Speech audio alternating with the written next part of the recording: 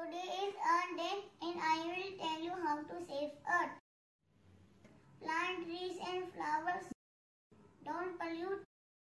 Rescue animals. Clean up. Save water. Recycle plastic. Ride a bicycle and walk